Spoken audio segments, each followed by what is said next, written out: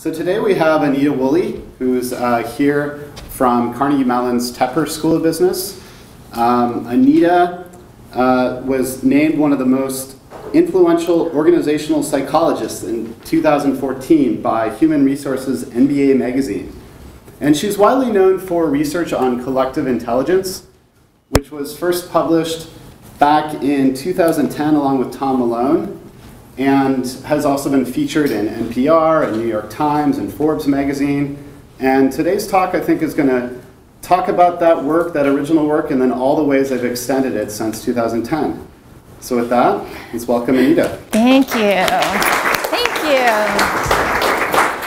Well, it's a pleasure to, to be out here uh, to enjoy some of your weather and your views um, coming all the way from Pennsylvania. So as um, Stephen mentioned, I'm going to uh, just give a little overview of some of the original work that kind of led us down this path. And then I want to share with you a more recent study that actually hasn't come out yet.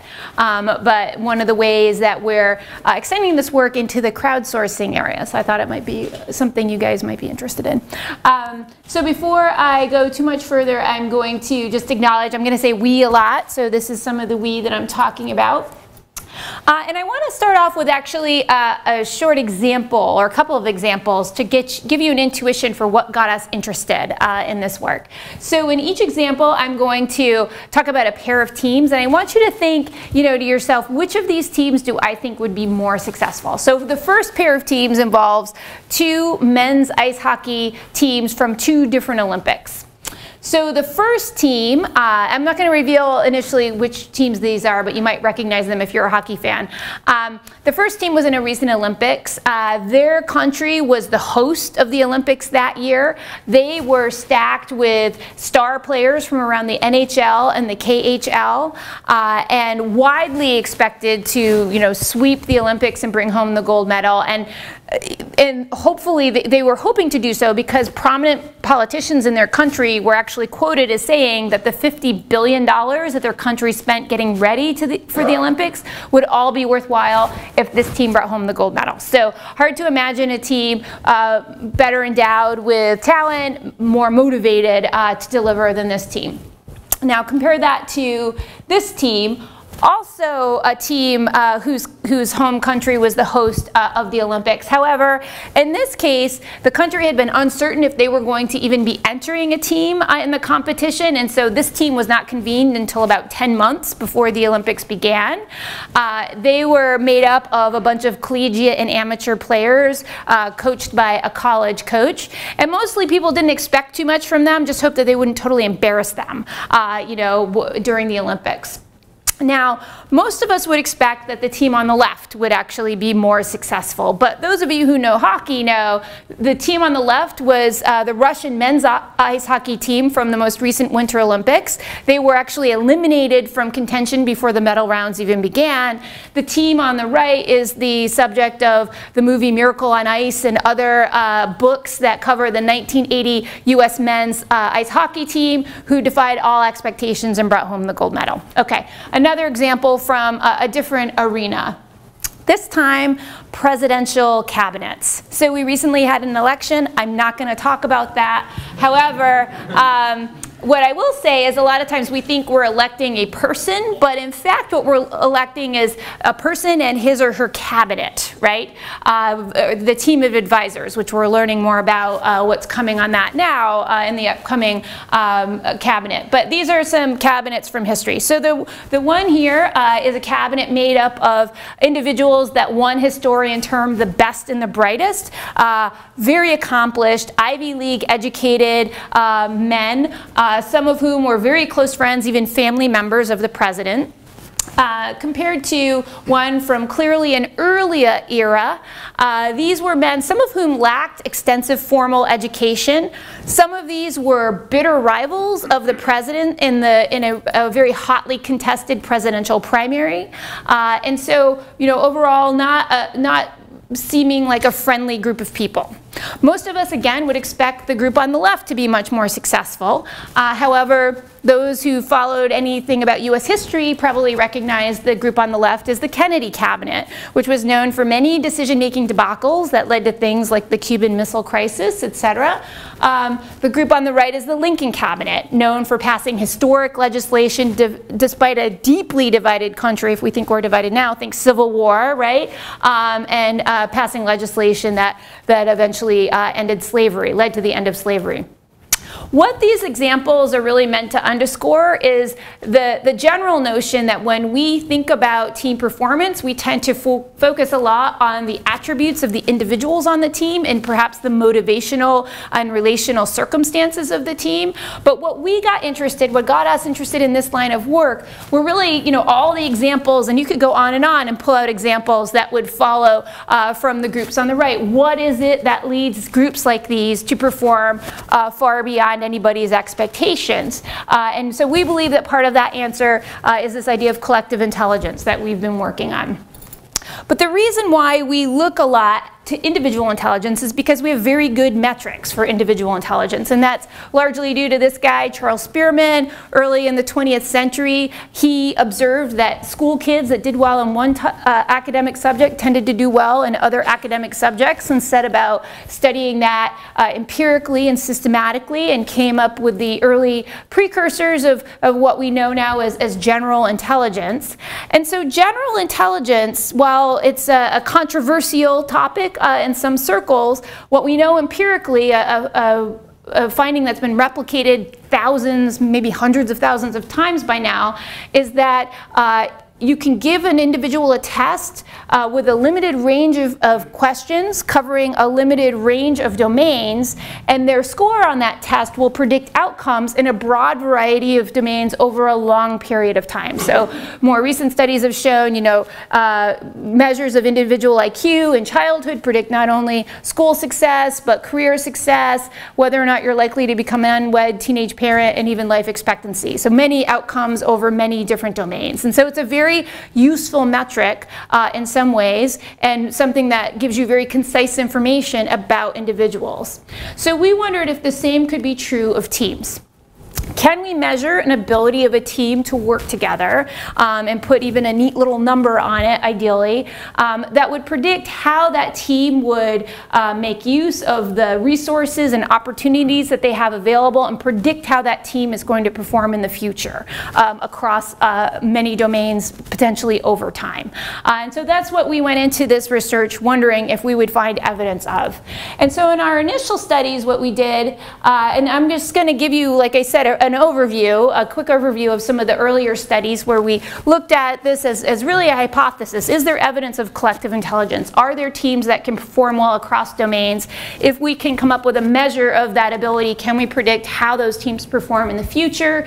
Uh, does this exist in online settings? And then more recent work where we look at it uh, in crowd-based teams. So in this first study, it was really a hypothesis. It was you know, a research question, does collective intelligence exist? If we have teams come and work on very different kinds of problems, is there evidence that certain teams will perform well on all of them better than, than other teams? So uh, we did this work uh, at MIT and at CMU. We brought groups into the lab. They spent the better part of the day together working on all kinds of different tasks. We also measured their individual intelligence as well. And so when we're sampling tasks, we're really looking at um, you know, the attributes of the task and how a group works together in working on that task to really look at group processes in a wide range of them. So there are existing task taxonomies that identify these processes. The best known are from McGrath and Larson. And what they really, you know, kind of point out is that, you know, generate problems, which are your typical brainstorming problems, involve very divergent thinking kinds of processes. You actually want members to be working relatively independently to come up with lots of creative ideas. By contrast, choose or decision-making processes really require more convergent processes where you identify who might have the best information to solve this particular problem, or maybe different pieces of information need to be put together. Uh, negotiate problems are those that have uh, competing objectives, uh, where uh, individual competing motives, where in some ways you need to cooperate, but also there, there are issues of individual interest at stake that have to be negotiated. And then finally, execution processes where we're not, we're not developing things, we're not making decisions, we're just making a bunch of stuff very quickly and accurately and coordinating our, our psychomotor activities over time to be able to do that effectively. So we sampled um, from this, this whole range. Uh, we took things that were verbal, things that were nonverbal, things that were mathematical, things that were artistic to try to um, sample a bunch of content domains as well. And basically what we found was pretty strong evidence that, uh, you know, we, we had five kind of distinct task types. As we clustered all of them, we found pretty strong evidence that groups that did well on one kind of task type did well on other kinds of tasks task types. And when we calculated a collective intelligence score on the basis of how they performed, so think group IQ test, if you will, um, an, an, an, IQ score uh, for the team itself, we could then predict how they performed when we brought them back to the lab later to perform a video game simulation together. And furthermore, we could predict uh, with much more accuracy than knowing the average IQ of the individual members. So up to this point, when teams researchers had looked at intelligence in teams, it was usually as a function of the uh, intelligence of the individual members. And so what we, for this to have practical utility, it was important that it really predicts something other than, uh, that, than what could be predicted no with knowledge of individual IQ. So we replicated this um, a few times, and uh, what we found pretty consistently was that collective intelligence was a much stronger predictor of future performance than knowing the average or the maximum IQ uh, of the individual members of the team. So uh, we also have gone on, both in these studies and then subsequent studies, to try to look at well, if it's not individual IQ that predicts collective intelligence, you know, what is it? What is it about the team or the members uh, of the team?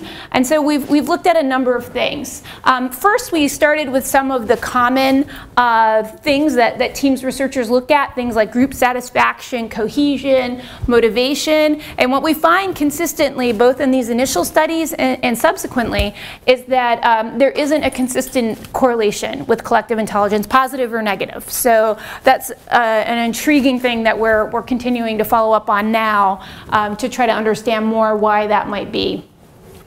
We have not found any consistent correlations with different dimensions of personality. Uh, you know, in some isolated studies, we might find a weak correlation with agreeableness or a weak negative correlation with um, neuroticism, but nothing consistent um, across our samples.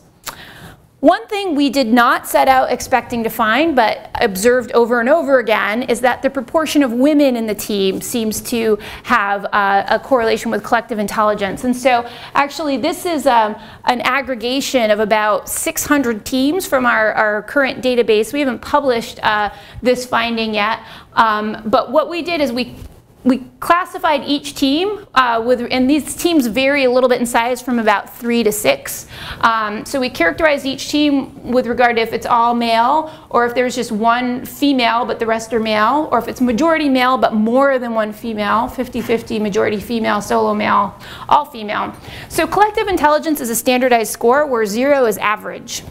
And what you can see is that teams kind of oscillate around the mean up to the point where they are majority female and then they're more consistently above uh, average collective intelligence all the way up until they have just one guy and then it goes back to average when it's all women we don't know what's going on here. I mean, well, we have we have speculation, but we don't have any systematic uh, test of what might be going on there. Um, but what it suggests is that gender diversity seems to have a positive effect on collective intelligence, with a tilt toward having more women than men. Um, we don't see any clear uh, advantage for just having women. So, guys, we still need you. Yes. Uh, what is the sample size well, this was not an experiment. This is a meta-analysis of a bunch of experiments we've done. There's about 600 teams represented here. And it's about equally distributed across these. So, but one of the other things that we find um, that in part explains this finding is another attribute we measure, uh, which comes from the general literature on theory of mind uh, called social perceptiveness. So, all of our participants take uh, a test called the Reading the Mind and the Eyes test, which has participants look at 35 pictures of the eye region of the face and to um, make an assessment of what this person might be thinking or feeling and, and to choose from four options. So, does anybody want to hazard a guess? Irritated. Irritated? Playful.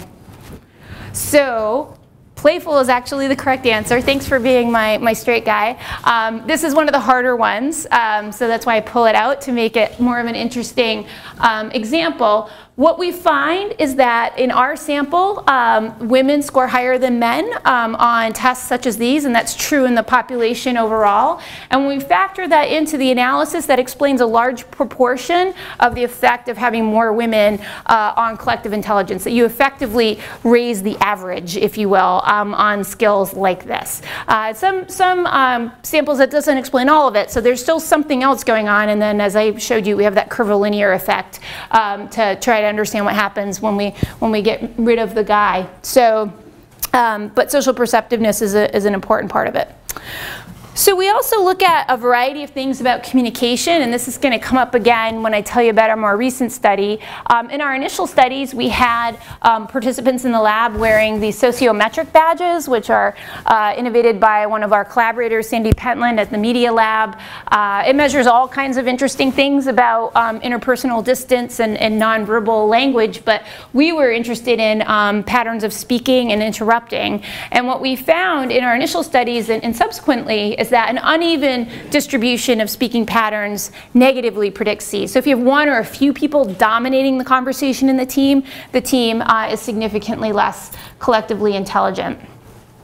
So uh, in a subsequent study, which I think some of you discussed, it sounds like earlier today, um, we went on to try to do accomplish a couple of things. And so um, number one, I don't know if you remember when I was talking about the first study, how I said we brought in these groups and it was like several hours in the lab, like most of a day, right? So we wanted to create a platform to try to come up with analogs of the tasks we used in the lab that could be administered to people who weren't necessarily working face-to-face, -face, or even if they were, could be administered much more quickly so that we, it would be more practical to do more of these studies. So we spent a couple years actually um, developing this platform that would enable us to um, administer our tasks uh, in, in such a way. And so it's a, a platform where we can, you know, show people the instructions, they can see one another working. They each have, it's, it's like an etherpad based thing, so they each have different colors and you can see what different people are writing. They can chat to each other. There's a timer that automatically moves them on to the next task when this task is over, etc. Um, so we came up with uh, tasks that are were good analogs to the ones that we uh, used in the lab. And so in this study, we were really just wondering if this would function in the same way um, as our original set of tasks, and if it would function simul similarly for teams that were working face to face versus in a more distributed environment. So in this study, whoops, whoa, whoa, come back. Um, in this study, we had 68 groups um, of four people, um, and we randomly assigned them to either work face-to-face, -face, in which case they sat around a table with laptops, and so they all worked on the, their, they did, worked on their own computer, but they could talk and see each other, or we distributed them. So they didn't know who they were talking to or working with at all. Um, they only knew what was revealed to them uh, through the chat. So our first question, as I mentioned, was does this function similarly? And so uh, one of the pieces of evidence that we were looking at um, is, is a little old-fashioned because we have better ways to test this, but this is the best way to illustrate this. Um, when psychologists are, are wondering if there's a general factor of intelligence for individuals or a general factor of collective intelligence for teams, they look at this thing called a scree plot, which is from a factor analysis. And basically they look at, you know, is there a very strong first factor and then where is the elbow um, that where there's a, a big uh, drop off in the amount of variance accounted for by subsequent factors. And so what this shows you is that Um, the, the green and the purple lines are from our first two studies from the science paper. Um, and then the red and the blue lines are from this new uh, study, one face-to-face -face and one online. And what you see is that the profile of these plots is pretty much identical. So it kind of tells you that, um, A, you know, the, this, this test kind of functions very similarly despite being administered in this very different way. And also that it, it functions similarly for teams working online versus face-to-face, -face, which we didn't know if that would be true because we really wondered if we might see more variability in how an online group works on a brainstorming task versus a decision-making task versus an execution task such that we wouldn't see a consistent factor of collective intelligence in that setting. Um, but, but we did. We also found some other consistencies that we didn't necessarily expect. Uh, and so the first one is uh, related to communication. So the online teams were communicating via chat not audio. We didn't give them any audio connection. They were just chatting in that little box. Uh, and because they were working on this platform, we could keep track of who was actually doing the work or answering the different questions. So we had a good measure of, of actual contribution to work products as well. And what we found in both conditions, and then we had audio streams for the, the teams working face to face, in both conditions, equality of communication was important, um, as well as equality of uh, contribution to the work products, and just more communication overall. So that was another consistent thing across the two conditions. And then the final thing, and this probably surprised us the most, uh, reading the mind and the eyes was just as predictive of collective intelligence in the online teams as in the face-to-face -face teams. So these are people who can't see each other. Um, they don't know, you know, uh, what, what your facial expression is, but uh, those of you who saw the paper know we titled it Reading the Mind and the Eyes or Reading Between the Lines. They're still picking up on subtle cues that are present from how other people are interacting in the space and the communications they're sending or they're not sending.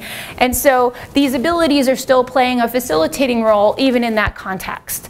Um, and I don't know if I brought this graph. No, I didn't. Um, there's another graph that I have from this study looking at proportion of women. So proportion of women was also just as predictive in both conditions. And again, not clear that people knew if they were collaborating with a male or a female, you know, depending on if they gave their name or not. We tried to go back and code, and that wasn't done consistently enough for it to be clear to us if people knew um, the gender of the, of the people who were in their team. So something again about um, the presence of women is playing a facilitating role. And interestingly, in the online condition, you know, that dip I showed you where when we lost the one guy and it was all women, uh, it declined back to average. In the online team, it didn't. It actually uh, stayed above average. So again, probably some ambiguity about if it's all girls here or not actually helped um, in that case. So we've, um, a, a, couple other things about measuring collective intelligence. People have asked often, is this a stable property of a group? Because the studies I've told you about, you know, we've measured this in lab teams, you know, and maybe we have them come back a couple days later or, or whatever, or even a couple hours later and do some other task. But is this a stable um, property of existing teams? And so we've actually administered it in a few different settings. Um, so we have done it with teams of strangers uh, where we just separate it by an hour or so. Some, sometimes we have teams, we get them to come back two, uh, two weeks later. Um, but the most interesting one to me is the fact that there is really no difference between this coefficient and this coefficient. These are student teams, some of whom were actually in a course about teams, um, trying to learn how to operate more effectively in teams. And so in some ways it was a little discouraging to me that that was actually so stable. Because it's like, okay, I guess we didn't teach them very much about how to improve how their teams work. But um, the, the first measure was taken in the first day of class where they got to know their teams. And so, you know, right when they met. And the other one was, was administered after uh, the teams were finished with their semester-long project. And so when we look at um, similar tests, looking at individual intelligence tests, we see that the coefficients are pretty similar. So really does suggest that this is built on some qualities that are evident very early on um, in a group's life uh, that set the stage for other processes to unfold, which really create the stable capability um, that might be harder to alter than at least my colleagues and I thought when we first started this work.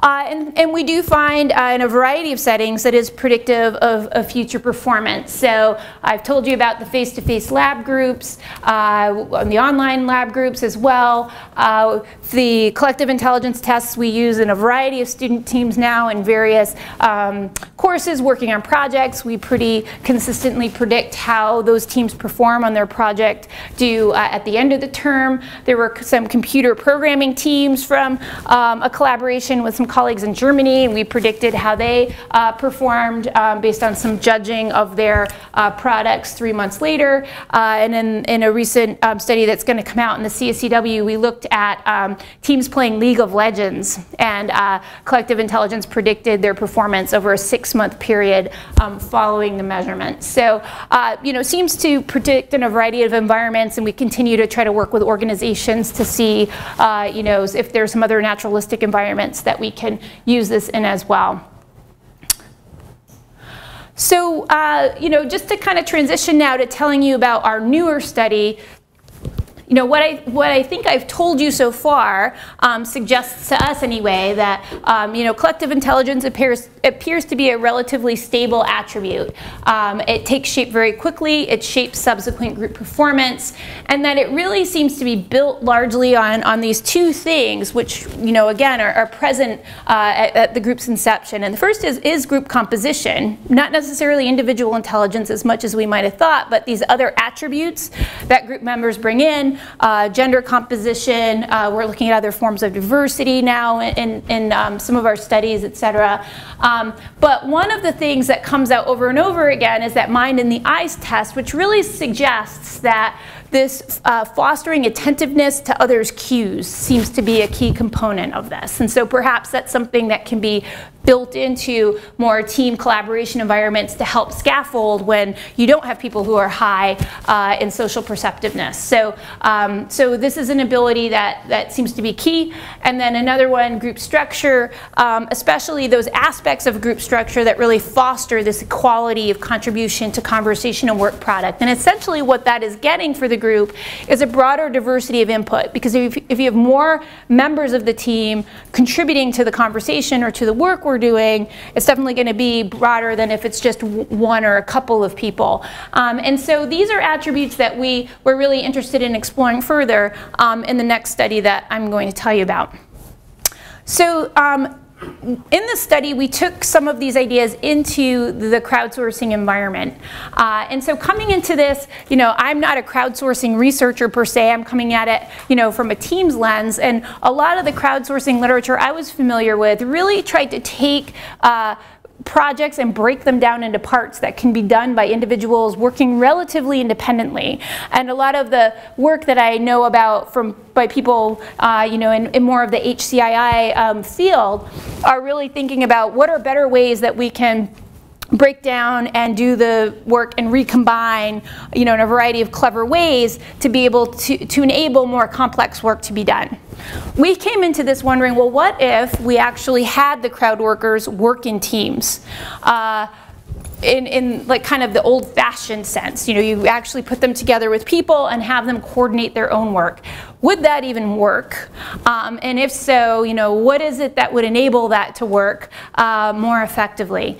Uh, so we, you know, came into this, uh, this was a contest platform I'll tell you about in a minute. It's a uh, platform where people were used to doing very individually based work. Uh, so this is kind of a novel thing um, when, when this was introduced. And so we were wondering if it would work at all. Um, if so, you know, are there some of these markers of collective intelligence that we can find that seem to characterize effective teams in this environment in the same way that they uh, characterize effective teams in the envir other environments we've studied? Um, and so we're not going to be able to get these teams to do our, our little set of games um, in, in, this study, so we were looking for other ways to try to measure uh, collective intelligence. And then finally, and this, uh, one of my collaborators on this is an economist, they think incentives drive everything. They're like, okay, so if we just pay them, uh, you know, that will that will make a difference. And so uh, we got this platform to agree to uh, allow us to randomize incentives um, for the teams to see what effect, uh, additional effect that might have. So this was done in the context of Topcoder. Uh, this was a contest uh, sponsored by NASA. Uh, for this particular problem, um, the, they need to devise medical kits that anticipate the needs that might arise on a mission, but that don't take up too much space because mass and volume are very constrained um, in these situations. And so uh, what the objective was of the people entering the contest was to develop an algorithm that would minimize evacuation due to medical stuff that might happen, um, but also minimize mass and volume. And so uh, what the what this took place over um, 10 days. They could submit their code to this scoring suite that would run, you know, 10,000 simulated scenarios and determine, you know, how successful they were at uh, reducing the number of evacuations and minimizing uh, mass and volume. So uh, in this study, uh, we ended up with 260 participants. It was a 10-day contest. Um, they were randomly assigned to teams. And then uh, the teams were randomly assigned to an incentive condition. So if they were um, in uh, the incentive condition, um, they, they would be eligible for a prize that was a room-based prize. So there were rooms created of four teams, and if they were the best of those four teams, they would be eligible uh, for the cash prize. That was only half of the teams. The other half of the teams were in rooms but not eligible for a prize. Everybody was also um, eligible for the grand prize, which was VIP access to the subsequent space shuttle launch. Uh, and at that point there were only a few remaining. And then everybody was also eligible for a t-shirt which apparently is a very big motivator for these people. So they really like these t-shirts and uh, they had to complete a survey in order to get it and pretty much everybody did. So uh, just to you know be really clear about our design, so the exogenous variables here, first is the team member skill. So everybody who was part of this contest had competed in contests previously on this platform, so we had a skill rating based on their prior performance. And so uh, you know just like I was controlling for IQ earlier, we were interested in how the, the skill of the programmers themselves would affect um, performance. We also had this incentive condition I randomized as I described. We had this team performance which was the highest score they got uh, from the scoring suite um, that they submitted their code to. And then finally, uh, we were really interested in these process markers of collective intelligence, and I'm going to walk through in more detail. But we were really interested in um, attentiveness um, to team members' communications as evidenced by level of activity on the site again, I'll walk through this, um, as well as the diversity of information um, that the team members uh, communicated with each other. So in thinking about attentiveness, uh, there's work that comes out of um, physics and related fields um, done by Laszlo Barabasi and some others looking at patterns of burstiness in communication events. And so uh, prior to this work, it had been assumed that when you looked at, say, um, activity on you know, some telecommunications wires, that they would just be randomly distributed what the activities are. But you know, looking at actual data, they found that was pretty much never the case. There's always uh, correlations among the activities because you know, there are times of the day that people are calling each other, people are returning calls that they got, et cetera. And so there's, there's an inherent um, correlation that leads to this kind of heavy tail power law distribution um, of activity activity. Some have, including us, interpret this as humans are responsive to what others are doing in their environment and that indicates you know some sense of community where you see these correlations among activities and we reasoned that we might even see variation um, in the degree to which this burstiness happens and that would be a signal of how much these team members in this case are orienting toward each other. So in, in our data, uh, we have you know a full record of all of the activity that takes place on this platform. So when people log on, when they make code submissions, when they send each other a message, uh, etc. And so we were interested in the in how bursty the pattern was um, in the communications and the activity taking place within a team and whether or not that would be a signal at all as to how well the team was performing. Um, and so just to give you examples from our data set, um, this is what a bursty team from our sample looks like. So these lines are when stuff was happening. Um, and this is a, a non-bursty team um, from our sample. So we did in fact see quite a bit of variation. Um, one thing I should note, and, and the reason why we were fascinated by this, these teams were distributed around the world. All of the teams uh, were diverse. So you had people from Russia, you had people from China, you had people from the U.S. Uh, those were probably the three most uh, represented countries, but you know there were about 40 countries represented overall um, across our sample. So very different time zones. And uh, those of you who study contests at all know people are fitting this in around their like real life, right? So they're doing this at night, they're doing it on the weekend. If they're really motivated, they might take a day off of work to do it. Some of them are students, some of them have, have real jobs and are professionals. Some are university professors, and so they're, you know, totally whatever, um, you know, doing it at random times, right? And so, uh, so that makes for us anyway, this bursty pattern even more interesting because for some of these people, they're in the middle of the night, um, you know, working and sending messages back and forth.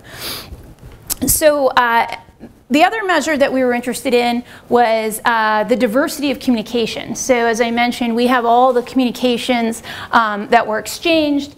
Uh, we submitted these to an, an LDA um, model, uh, which basically puts all of the content into topics, calculates the probability um, for each topic appearing, and then um, makes a calculation of the info, information diversity of a particular message uh, based on the dissimilarity of the topics uh, that show up in the message. So we are interested in, in this as well. So to kind of, and this is just example of topics. So they talked about things like, you know, what should be in the med kit, uh, how are we going to test our code. People created offline testers so that they could, because sometimes it took too long to put it through the scoring suite. Uh, how should they share the code and how should we work together? Um, you know, all, all kinds of different topics. So um, what we found, and I don't know how uh, visible this is to you, but basically we started by predicting, okay, performance based on team skill and cash incentive are, are randomized um, variables. We find when those are in the equation just by themselves, they're, they're pretty significant predictors. But as soon as we start entering some of our process variables, and we have a bunch of controls, um, the time zones and so on as controls, but once we get to our process measures, these are no longer significant. So uh, information diversity, um, you know, is, is a strong, uh, significant predictor. The burstiness uh, is also um, a strong, significant predictor when they're all in the model together. The burstiness uh, is the one that, that kind of remains a significant predictor. Um, or another way to model this is, is in a structural equation model. And basically, you know, what you see when everything's in there is that team skill, you know, does lead to some you know improvement in both burstiness and information diversity. But once again once these are, are um, factored into the analysis team skill doesn't have a significant effect on the on the team score but uh, burstiness uh, in fact does. So what we take this as, uh, you know, a conclusion of is that a, you know, it's interesting to us that even in these, you know, crowdsourced environments, that there is this kind of human element, right, where people seem to be, um, you know, motivated and engaged when I'm sending a message and, and somebody else responds right away, you know, and we can kind of iterate on something um, back and forth and, um, you know, and discuss our approach or give each other feedback or whatever. And so that, you know, factors into, uh, you know, these environments, even in these, these very distributed, very hands-off kinds of settings.